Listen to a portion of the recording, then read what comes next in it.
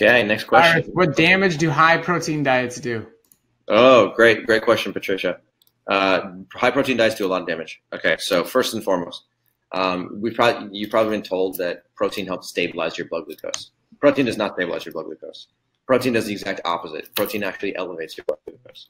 Uh, there's actually some really uh, interesting research that shows that you can take a person with type 1 diabetes and you can feed them a low protein meal and then you can monitor their blood glucose over the course of the next five hours.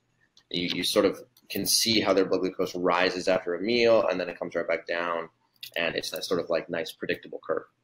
Uh, you can then take the same person the next day. You can feed them the same meal, except you can increase the protein content. So you're basically just increasing protein and you're decreasing carbohydrate.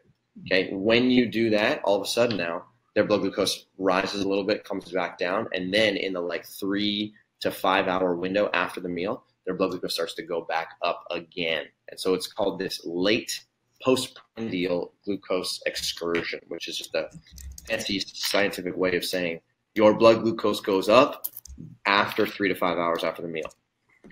So, um, if you have ever experienced that yourself, then you may know what I'm talking about. Um, and even if you're not living with type 1 diabetes, you just have type 2 diabetes, what you're doing is you're forcing your pancreas to have to work a little bit harder three to five hours after the meal in order to keep that protein um, from elevating your blood glucose too high. That's number one.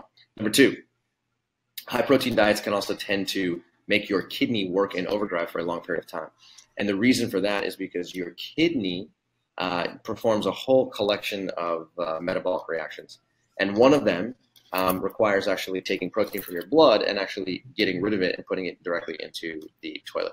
So your your kidney has to do this thing called the urea cycle, and it's effectively manufacturing urea, which is what gives your urine that yellow color.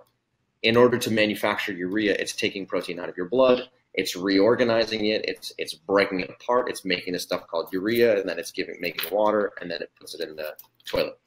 Uh, in the process of performing the urea cycle, uh, especially when you're asking your kidney to filter large amounts of protein over the course of time, your kidney can get very, very sluggish, and then um, its filtration rate can go down, and it can end up becoming very uh, inflamed. And so there's many research studies that actually show that people who eat high protein diets actually have more inflamed kidneys over the course of their their life, and that leads to worse, uh, like shorter kidney health. And the last thing that I will say is that people who eat high protein diets um, have also been shown to just live less days on this planet.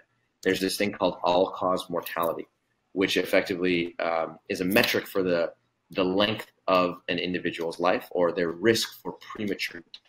And what some studies have shown, these are very large scale studies that are done in hundreds of thousands of people over the course of 10 to 15 years, is they show that people who eat higher protein diets, um, especially if the protein comes from animal products, but not if the protein comes from plant products, that when they eat these high protein animal based diets, that um, they live a shorter period of time. So their what's called their risk for all cause mortality goes up, which means that they're on this planet for a shorter period of time. Um, again, if you're eating a slightly higher plant-based protein intake, that problem doesn't occur. So you know, protein can be problematic, but it's especially problematic when it comes from the animal world.